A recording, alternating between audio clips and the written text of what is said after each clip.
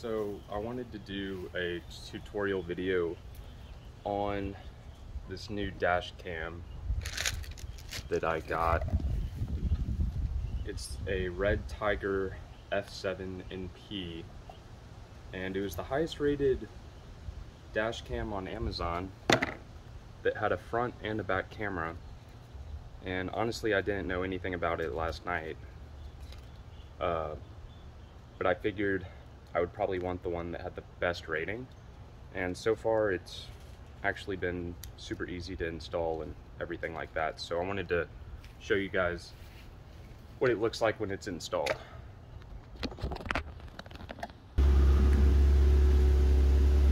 I still think that Hyundai is, makes one of the best cars. They can actually back out of the garage by themselves. Something really cool.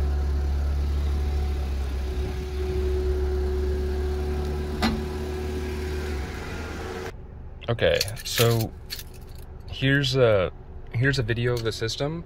So basically it comes with this main camera and then it comes with a backup camera. Both of them already have suction cups or some type of adhesive. Typically it's 3M, uh, but then you'll have one cord that goes to the back camera, which provides power to that back camera, and then this cord which provides power from the car. And I always wondered how dash cams actually recorded the whole entire time. But supposedly this thing will just keep on recording and it's got a SD card or SD card that's on the side. Make sure that if you get one, it's included. But it's actually going to record anytime that my car is on. And there's also an option where if you wanted to hardwire uh, there's a secondary part that you can buy, but if you wanted it to also record if there was an impact while you're parked, there's a way to do that, but that would be, uh, you have to buy an accessory and I think it's a little bit harder of an install.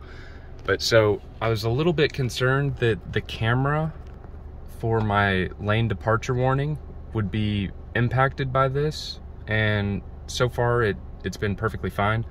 So what I did was I just ran the first line, which is from the camera to the power adapter, straight up in from the top of the windshield, down the side right here, and then what you use, this actually comes with the package as well. It's a little tool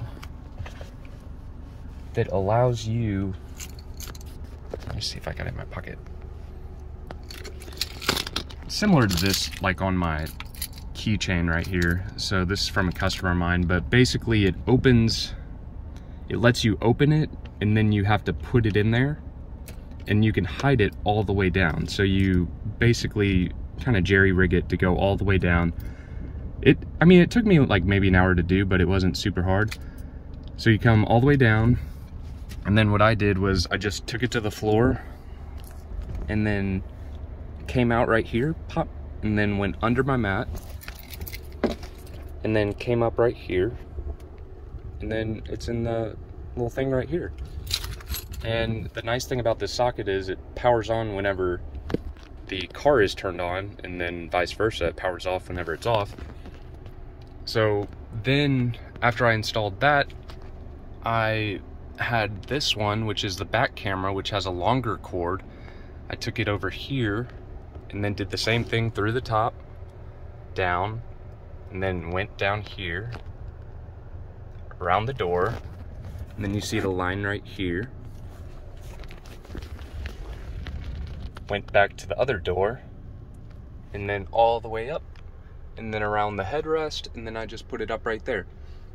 And granted, it's not like the prettiest thing, but like for me, if I have one one wire showing out of like 50 wires, like if I have a PC or something like that, you know, it still looks really nice. So, so far it's been really, really cool. I haven't really tried the Wi-Fi feature. It has GPS and everything like that. But, um, you know, I think the coolest thing is it's literally, it just goes on record and supposedly after it, uh, after it gets full, it will delete all of the old recordings that are all old and then just keep recording over itself. So it's, you know, when you live somewhere like Houston where people drive everywhere and the traffic is absolutely nuts and you work in sales and you're in your car all day, it could be really useful.